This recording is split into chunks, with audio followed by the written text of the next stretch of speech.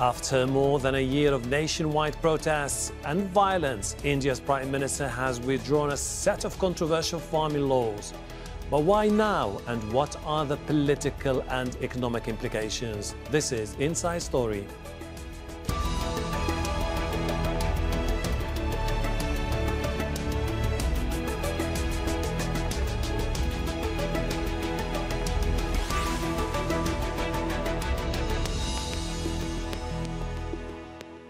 Hello, welcome to the program. I'm Hashem Ahelbarra.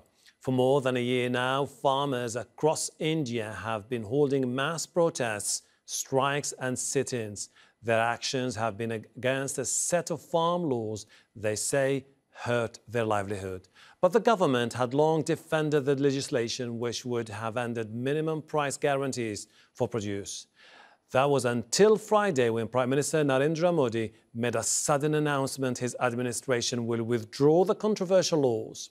We have a lot to get to with our guest. First, Pavni Mittal has the latest from New Delhi.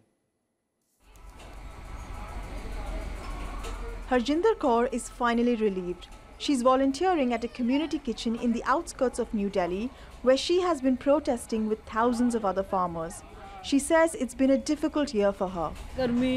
It was hot, but they turned off our water supply, electricity, and roads to come and go. They did everything they could to make our life difficult, but we have finally won. Farmers began protesting soon after India's parliament passed three agriculture laws they say favor big corporations and leaves them worse off.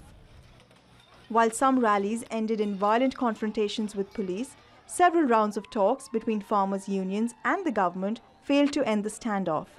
Until this sudden announcement by Prime Minister Narendra Modi withdrawing the three controversial laws. In the parliament session starting later this month, we will complete the constitutional process to repeal these three agricultural laws. Farmers are celebrating this victory but see the announcement as the first step. Farmers set up these temporary structures last year when they decided to camp out until the government rolled back the three laws. They say they'll only pack up and go home once the parliament officially revokes them. They also point to critical issues the Prime Minister failed to mention, the 700 farmers who died during the protests and their demand the government guarantees them a minimum price for their crops. Modi's U-turn comes as several states are heading into critical elections early next year. He read the writing on the wall. He realized, unlike many of the people who are around him, that BJP would not have a very easy passage in Uttar Pradesh, which is a very crucial state, and the return of his party to power in 2024 depends largely on how they do in UP. And he wanted to retain UP at all cost, and uh, Western UP is important. So is Punjab, for that matter. Modi's announcement comes on the day of one of the biggest festivals for the Sikh community, which has been on the forefront of the farmers' protest. And while that made it more significant, demonstrators say they will continue their sit-in. They promise to hold pre-planned rallies and will observe the first anniversary of their protest later this month. Pavni Mittal, Al Jazeera, New Delhi. Let's bring in our guests. They're all joining us from New Delhi. Yogendra Yadav, founder of Jai Kisan Andolan, an All India Farmers and Farm Workers Organization of Sawaj. He's also a member of the Coordination Committee of Samyukt Kisan Morcha, the coalition leading India's farmers movement. Ashish Shukla, an international journalist covering India's current affairs and its governing party extensively. Javed M. Ansari, political analyst and commentator. Welcome to the program. Yogendra, who would have thought that Modi would finally back down on a farm reform? He was always insisting it was instrumental to modernize India's agriculture. What do you think has happened? Well, democracy has prevailed. Uh, democracy is all about signals being sent to political rulers. And in this case, signals were about, as your uh, reporter noted, signals were about the upcoming elections in the Uttar Pradesh, which is the largest state in the country. Signals were about the growing unpopularity of the prime minister. Signals were about the government being seen as anti-farmer. Now, in a country where farming accounts for about 60% of the population directly or indirectly, no prime minister wishes to be seen to be so unpopular. Although I must say, the striking thing is not that the Prime Minister finally spent coffee. The striking thing is how long it took the government to spell coffee. It is a year now. And just for your viewers, you know, just the, the national capital region of the country surrounded by hundreds of thousands of farmers out there on the street in India's winter, summer, mm-hmm. monsoon, with a determined sense. And the government was not speaking to the farmers for the last 10 months. So I guess democracy has finally prevailed. Ashish, do you think this is pure political calculation by Modi or a realization that there is absolutely no way he can sell this legislation to the farmers anytime soon, at least? I think Mr. Yadav makes me laugh really when he says that uh, he is a very unpopular leader, because by all estimate, he remained a very popular leader after what he has achieved during the COVID 19 pandemic. And as far as he says, thousands of farmers, I don't think there have been more farmers than from Punjab, Haryana, and Uttar Pradesh, partly from Uttar Pradesh, which is a very small segment of over 10 crore farmers in this country, which he rightly says is almost 60% of uh, India's workforce. Mm-hmm. So, uh, if democracy has prevailed or anarchy has prevailed, I have my own views on it, but we would come to it as the program goes. Javed, do you think that this uh, uh, uh, we'll get back to you later, Yogendra, if you don't mind. I'm going to Javed. Just about this move, do you think that it will be enough to win the hearts and minds of the people that the BJP has been describing as terrorists and separatists for almost a year? It's going to be very difficult. And, uh, you know, I disagree with the panelists who spoke before me in trying to undermine this farmers' means movement. You can you can wish away, you can uh, you know play with numbers. The, the fact is that Mr. Modi has read the writing on the wall. He's capitulated. This is not an act of generosity or magnanimity. This is neither an example of a responsive government. He realized that there would be a huge political price to pay in the forthcoming assembly elections, and that is primarily the reason that he has backed down take, and this takes nothing away mm-hmm. from the fact that the farmers have been out there. 700 lives have been lost. If this was only supported by a small group of farmers or or financed, or if, as the government would have had us believe till day before yesterday, this mm-hmm. was a secessionist movement, then 700 lives would not have been lost. Hundreds of thousands of farmers would, would not have been out there on the streets braving India's scorching summer and bitter cold. So I think this is a grave injustice uh, to describe this as only representing a minuscule. This, you know, this Mr. Modi may be popular otherwise, but he was extremely, he had become extremely unpopular in the farming community okay. after ramming through these three controversial laws. Yogendra, let's break down the reforms for, for people to, to understand why farmers have been frustrated with the uh, with, the, with the reform themselves.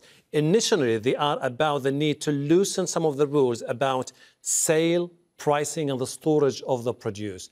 Uh, initially, this should be good for the farmers. Why were they always apprehensive of it?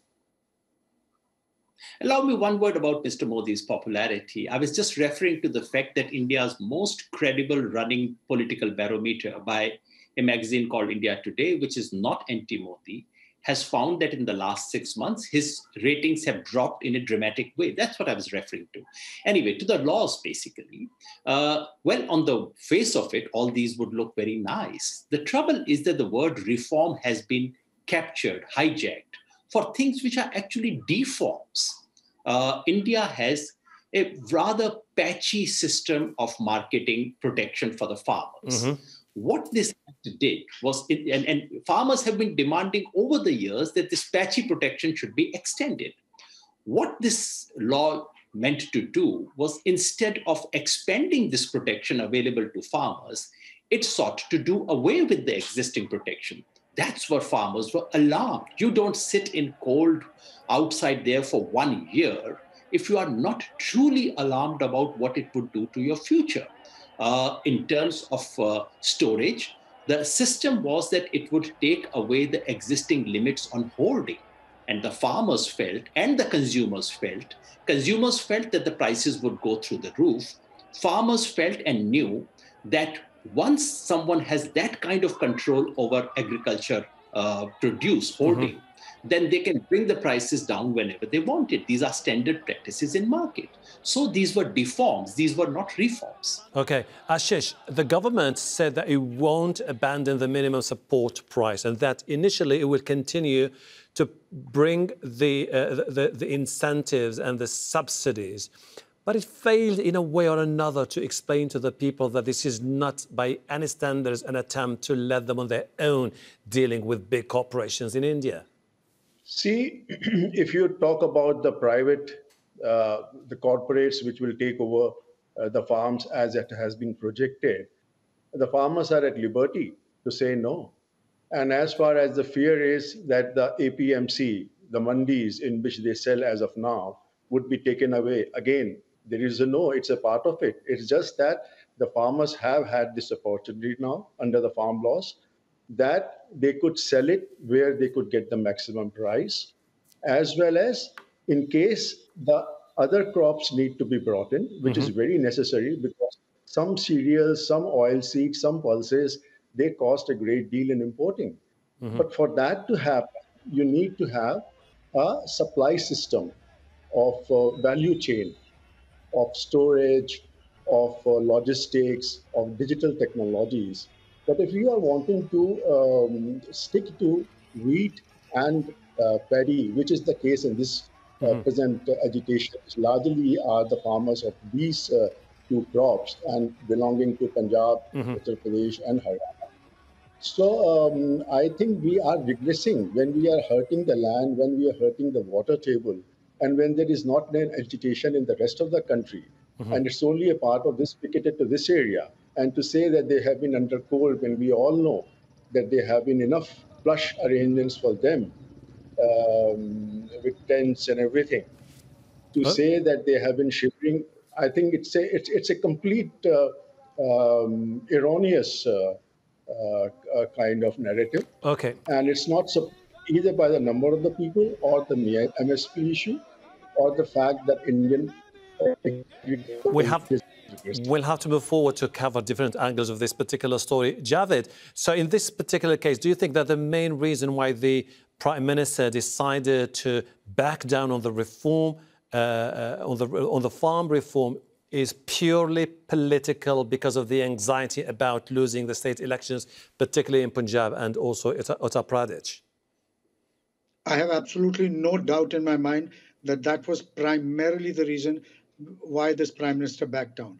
Mr. Modi is not known to take a step backward. In fact, he and his supporters have made great virtue out of this. This is only the second time. Even earlier, on the, uh, once earlier, when it came to the land acquisition bill, he backed down. The writing was on the wall. In Western UP, Western UP accounts for 139 seats, assembly seats. The BJP had one close to 100, 90 something to be precise. And by all accounts, and you don't have to go by what I say, go by what a ranking member of the BJP, now a governor of Meghalaya, Mr. Satpal Malik, said. Mm-hmm. They were in for a severe drubbing. All reports from the ground indicated their cabinet ministers who hail from that region were unable to go out and campaign in their own villages. So, therefore, they read the writing on the wall and they took the step back. Even, re- even the recent by-elections. After the recent by-elections, mm-hmm. the BJP got a drubbing and they rolled back the prices of petrol and diesel. So there, there is enough and more evidence to suggest that this was done only because of the elections in mind. Had it been anything else, six, seven hundred lives would not have been lost. They would not have prolonged this. If it had been of the good, mm-hmm. the goodness of their heart, they would have realized this.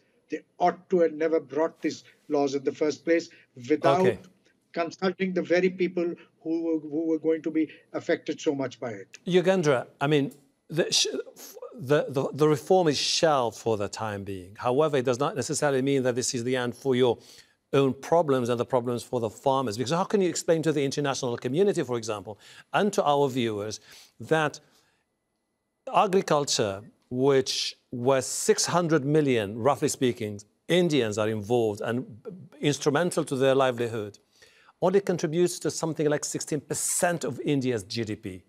In another term, it's about time to think seriously about how to improve this sector. Otherwise, it will just come to a demise one day or another.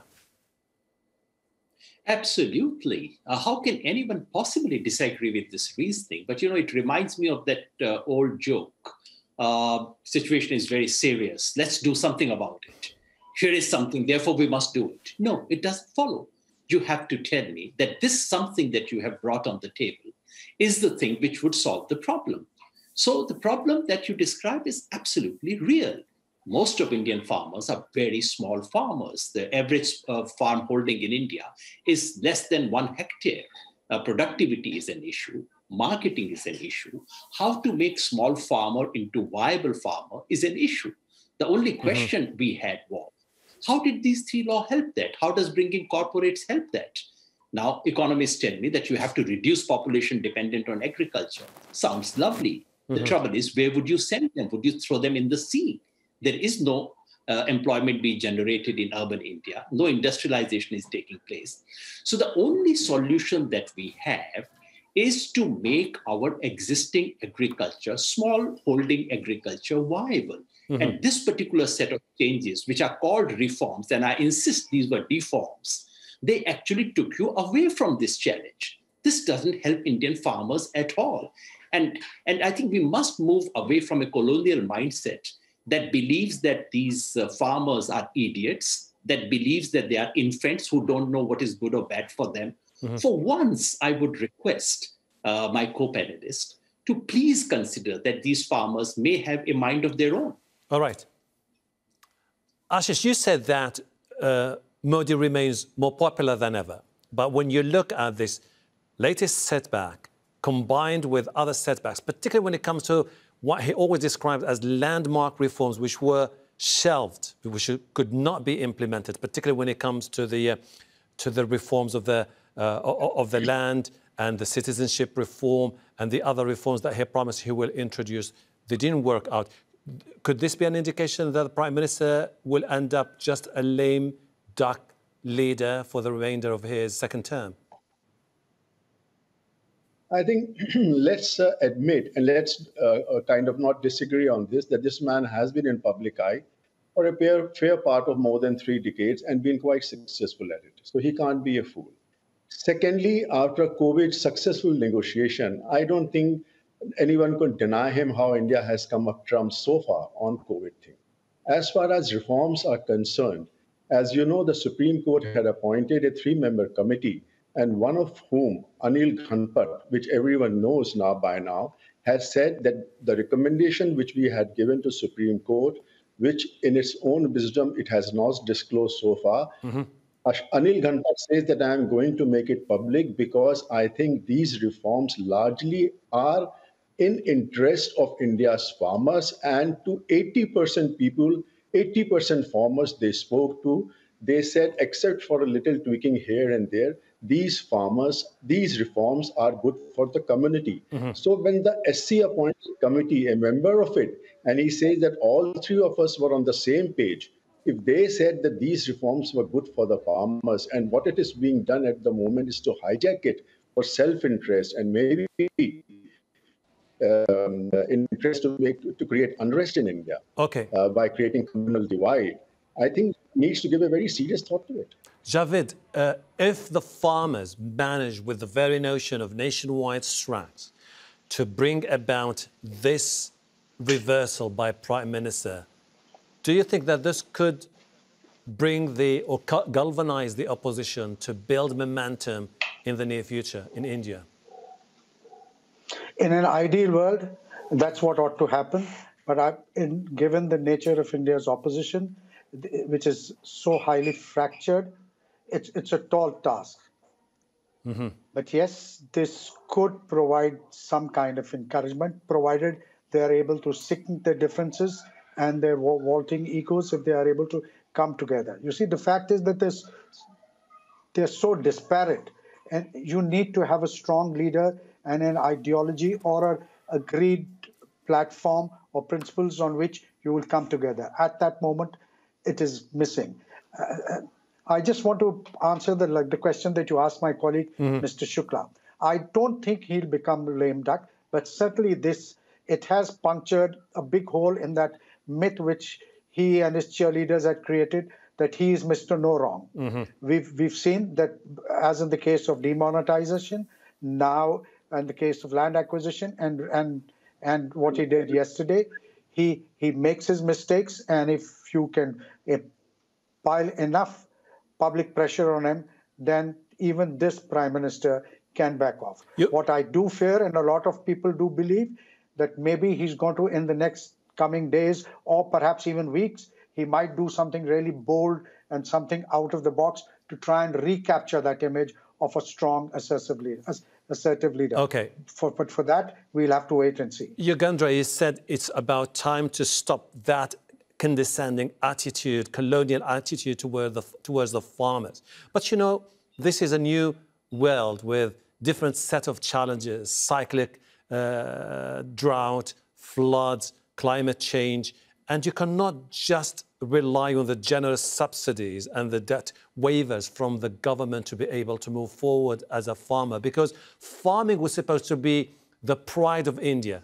It's not the case. You cannot even compete with neighboring countries. So, what do you think should be the, the, uh, the alternative or the option for, for your country to move forward when it comes to modernizing the agriculture sector?